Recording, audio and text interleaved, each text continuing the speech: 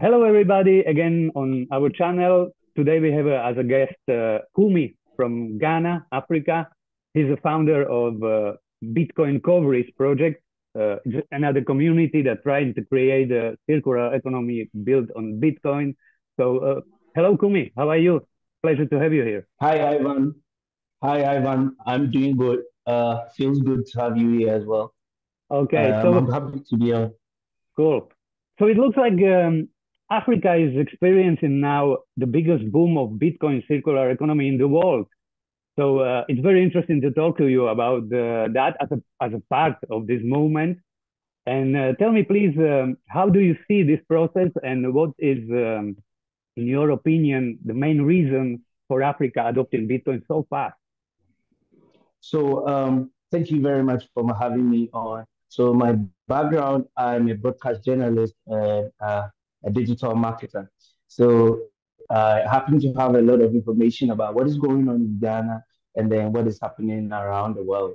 Uh, I would say one of the major driving factors is um, borderless ease of life. I would say uh, Africa is moving so fast towards the Bitcoin circular economy because um, it is introducing us to a more efficient lifestyle. If you look at our current systems that we have, and then the introduction of Bitcoin and the capabilities it brings, you realize uh, you were living in kind of a locked up society. Now you are getting opened up to the rest of the world. I think getting opened up to the rest of the world and accessibility to information and services is one of the driving factors to circular economy springing up uh, currently in Ghana and the rest of Africa. Cool. You said you are a journalist, but how, how did you get in the Bitcoin space, and uh, yeah. what was your motivation to create this project? So, uh, being a journalist, of course, you would have to do a lot of research. You would need to read. So, back in 2016, uh, a friend of mine got back from Prague who came to tell me about Bitcoin. I did my research on it. I started reading about it, but I kept the information to myself until the Bitcoin Africa conference, which came two years ago. Uh, I decided, all right, you, you have this information that this world has and you can see what is happening in Bitcoin circular economies. You are seeing the development in Bitcoin. Stand up for the fight. Now the conference is here. You are looking out for a window of uh, confidence, something you could stand for. Because back in the day, if you were talking about Bitcoin, people were looking at you like a scammer because some people came into the country with the name of Bitcoin, but at the end of the day, were not real Bitcoin, but shit coins. So people ran at a loss. So you were scared to stand up to actually speak for Bitcoin. But when the conference came in, I saw the kind of dignitaries that came to the conference. I saw a lot of information. Then I got to know, oh, okay, I could actually stand up for it and then look forward to sharing my knowledge with other people around Ghana. And yeah, it started from there. So, uh, uh, did you see any other uh, example like a Bitcoin Ekasi, and you did you want uh, did you want to replicate? Or how did you get uh, the idea to create this project? So yes, uh, first and foremost, I might say uh, I met Herman from Bitcoin Ekasi at the first ever Bitcoin Africa conference. And before that, I was looking at what Bitcoin is doing on Twitter. I was Okay. following up with Paco. I was following up with Sats, Joseph, and then a couple of other Bitcoiners. Then I was learning more. I got to realize, wow, so South Africa is already having an economy thriving of Bitcoin. Really?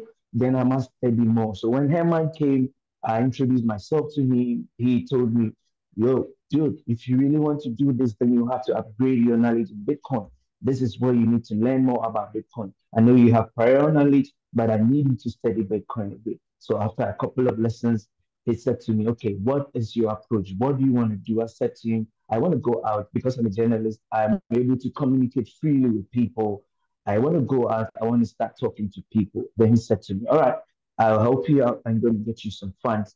Go out there and start talking to people. Preach the gospel of Bitcoin and let me see how it goes. So from one meeting to another meeting, then the third meeting, I'm having a Bitcoin meetup, the first ever meetup in Agbozume. And there has never been a meetup like that, a Bitcoin only meetup like that in the whole of Ghana at that time. I go a lot of uh, a lot, a lot of participants coming. I introduce them to Bitcoin. I give them materials to read. I met Anita Posch at the first ever Bitcoin Africa conference as well. And she had these leaflets she was using to orientate people. She actually hosted a Bitcoin a, a Bitcoin meetup with me on the top of the Africa Bitcoin conference. Mm. And then she showed me the leaflets. The leaflets had all it takes to orientate someone. What a Bitcoin, cold wallet, every information you need to know about Bitcoin. It was on that information. And it had some QRs you could scan to um, get your wallets and all of that. So I took those materials with me to Agbozume. We did our first meetup. I learned a couple of lessons. I shared the report with Herman and said, all right, you're doing good. I'm going to make sure you be able to do this. And then from there, from one meetup in one location to the other and to the other, then we got hooked up with Trezor. Trezor Academy, I met uh, Joseph as well at the first ever uh, Bitcoin Africa conference. Then Joseph said to me, okay, I will keep in touch when I go to uh, Czech Republic. Not knowing Joseph was observing how uh, the meetups were coming up, then he said to me, okay, we're going to do Trezor Academy. It's aimed at onboarding people, educating people to the Bitcoin standard. And we see you're doing that already. We are going to help you to be able to do that. So Trezor came in and then we gave it to the Bitcoineta uh, together with Bitcoin Cowries. We gave that to the Bitcoineta. Uh, the Bitcoineta is basically a Bitcoin education van on wheels, a Bitcoin education library on wheels is going to travel just like we were doing without a van, moving around places to places, uh, having meetups, killing people, onboarding shops. The van is going to facilitate that now. it's going to be in grand style. Usually we were walking and going there. We didn't have Bitcoin written all over us, but the van has Bitcoin visibly uh, written on it. And it's carrying educational materials. One thing we are doing currently is um, having contacts with a lot of communities because we are going to move by the end of this February. The van is going to start its tours. Uh, we have a plan, TV and radio tour. We want to go mainstream a bit with what we are doing. Uh, it was just between the communities. And now we feel it's time to get into the media to step up and then uh, tell people about what Bitcoin Cowries is doing, what Trezor Academy is helping us achieve, with Bitcoin adoption, educating Bitcoin uh, to people across Ghana and then the rest of Africa as well. That's a fantastic story.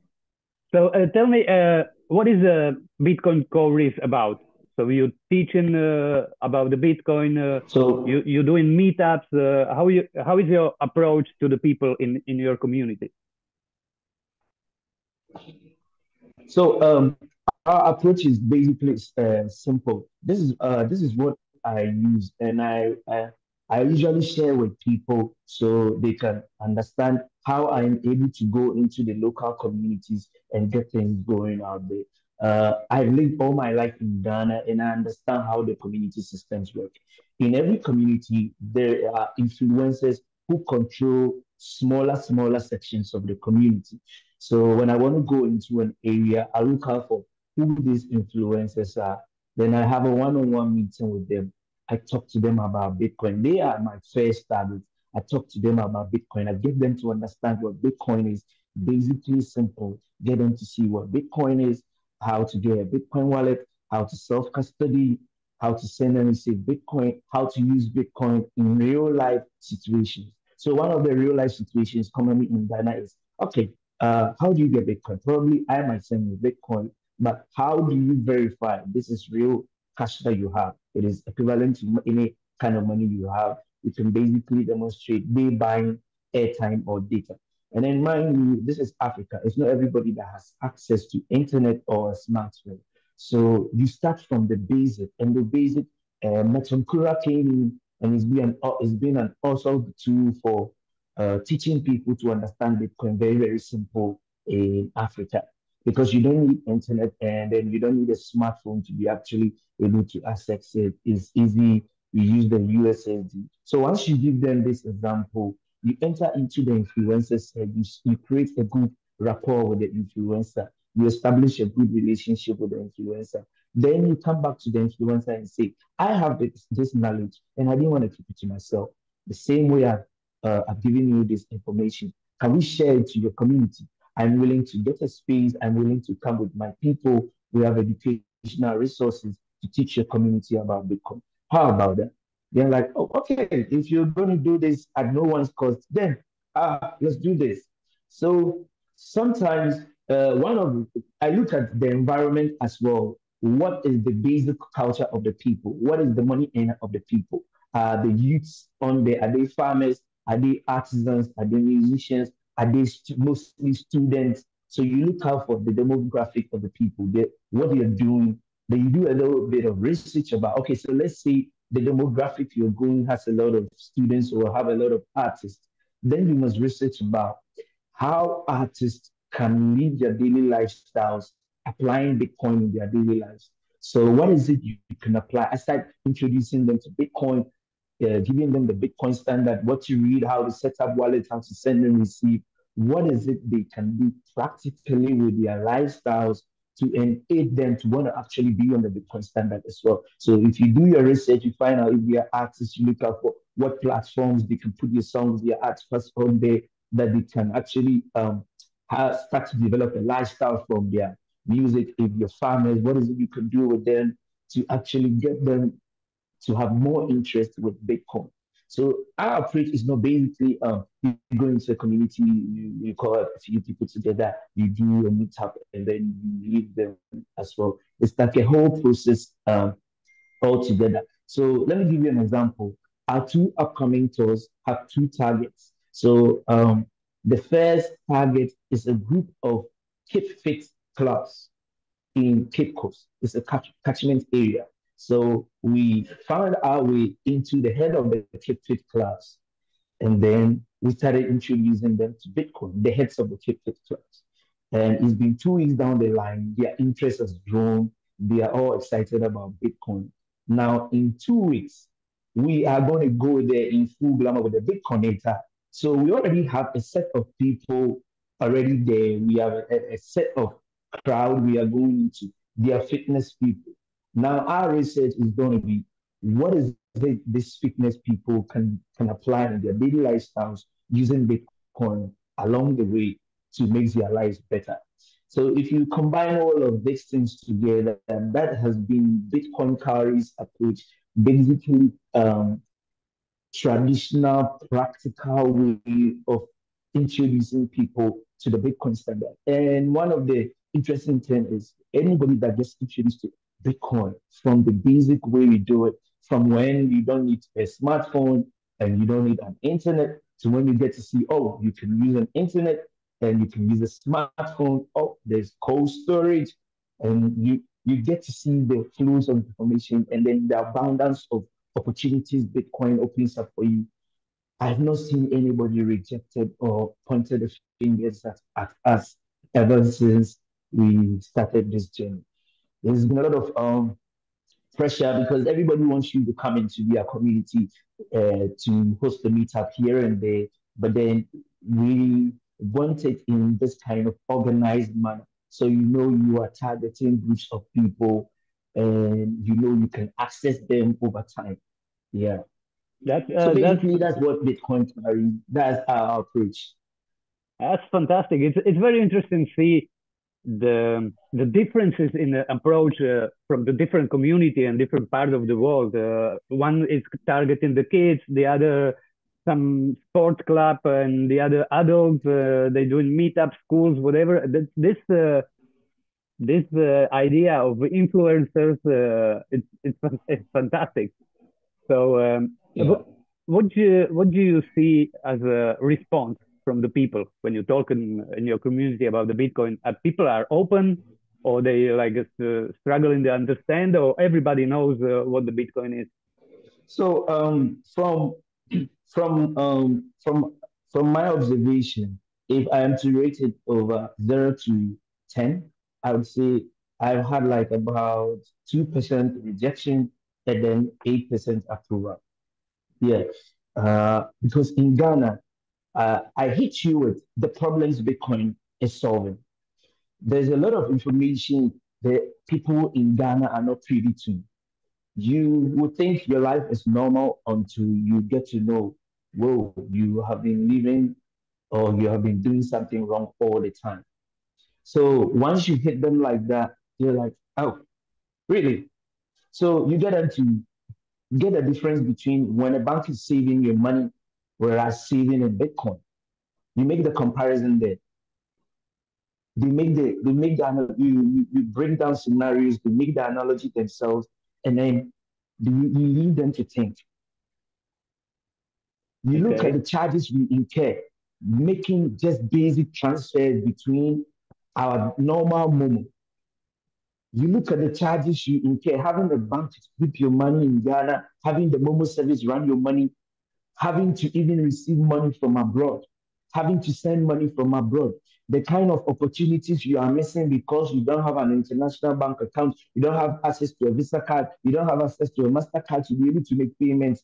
You want to pay for an online tuition, you cannot do that because the current systems are not giving you opportunities to do that. If you don't have this kind of information, how are you going to break out of this? We are just helping people to break out of that that kind of shell we find ourselves in. We are in a world whereby information is free right now. Uh, we're pushing for a borderless um, world, so you can have access to whatever information you want to have access to. You can pay for tuition outside at the minimum, very rare at the minimum uh, uh, um, cost. You should be able to access um, emergency services because the bank is closed and you can have, have access to Momo. They are doing an update three, four, five days. It's not there. Okay, you send a transfer. You need to pay for grandma's uh, uh, uh, hospital bill, and they are taking her out today. The transfer was wired today. It's going to arrive like in three, four, five days. It means she's going to be thrown out until the transfer gets in, then you can get it. Whilst Bitcoin is giving us instant transactions, it is right in your face, there and there. Bitcoin is solving problems unimaginable in Africa. These are, I mean, top level, I mean, surface level problems.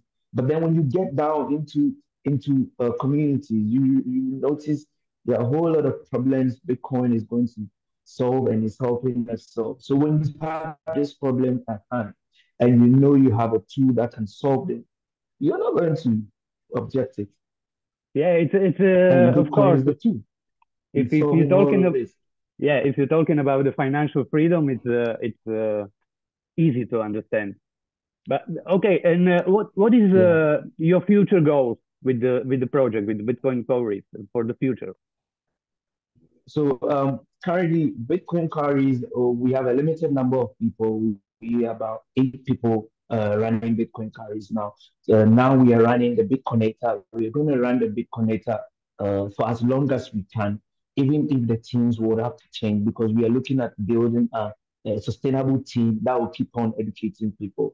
But the long goal, as the Bitcoin ecosystem is growing and evolving, uh, Bitcoin Cowries will evolve, and we're going to grow with uh, uh, as long as um, things are growing. So we might come out with some products uh, on the Bitcoin layer. Uh, we might offer some services as well. And we were looking at collaborations and partnerships with other higher Bitcoin educational um, outfits out there. Because our aim is to educate. We're looking forward to collaborate with anyone that is aimed at pushing Bitcoin adoption, education in Africa and Ghana. We are open. We will team up with you and we will deliver as we, we, stand to be. Are you, are you cooperating with the Bitcoin Beach from Salvador? Yes, uh, I'm collaborating with the Bitcoin Beach from El Salvador together with Herman on Bitcoin Bright.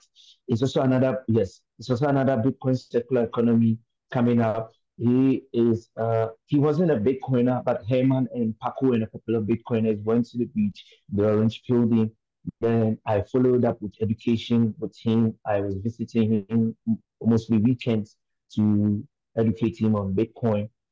And yeah, his seven outfits is accepting Bitcoin. We've abandoned a couple of shops, local shops on the beach to accept Bitcoin. We've built as many people in the community uh, as well. Uh, it, it, wasn't as aggressive last year, but this year with the Bitcoineta coming in, uh, we are going to go, we are going to be more, we're going to visit them more often to spark up activities because I noticed my presence and then uh, turning up activities within the community sparked the interest. So if we should go there in our numbers again, the interest is going to uh, stand up again. Even though there are shops, there are three shops, and then Mr. Bride's house is, is already accepting Bitcoin. We still need to do more in the community, and then Bitcoin Beach is supporting us to do that. Okay, and uh, same as oh yeah. So um, same as on the okay. okay, and uh, what is your uh, social network? So if people want to follow you or support you, where they can find you?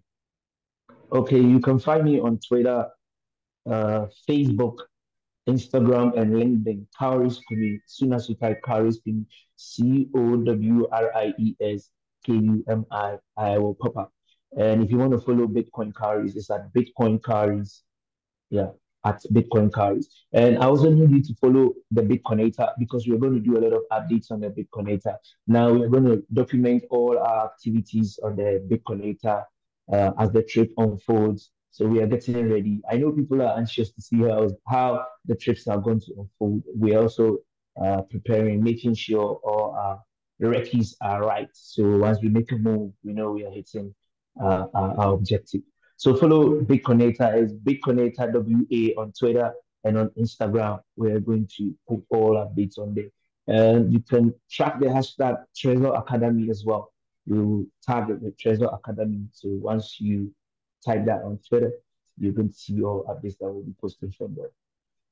This is, uh, as you mentioned in the Bitcoineta, for me, it's uh, like a very fantastic to see this this uh, this process because I was uh, on the first Bitcoineta in, in Buenos Aires. I saw the second Bitcoineta wow. in Salvador. I, I saw the uh, Bitcoin Academy, Bitcoineta, and now uh, this this uh, growing Bitcoinetas all, all, over the world is just fantastic. So um, yeah. Okay, uh, last question that I have for you. Uh, asking everybody on all those interviews the same question: What Bitcoin means to you personally? Bitcoin means freedom to me. Yeah. That's it. One word. One word. Okay. And it entails a lot. I mean, it, so let me add this bit. So when I started moving out to talk to people about Bitcoin, a, a certain part of me, I discovered a certain part of me I never even knew existed. Uh, it, it, it, you carry a lot of love. It, there's there's some kind of responsibility of love of love on you to make sure everybody who needs help or who needs to know what Bitcoin is needs to know. So that is the responsibility I'm carrying right now. And I feel it's freedom and love. That's fantastic. Okay, thank you very much for this interview. We we wish you all the best for all the goals that you, you want to achieve and congratulations for this great work that you are doing in your community. Thank you very much. Thank you. Thank you very much, Ivan. Thanks for having me.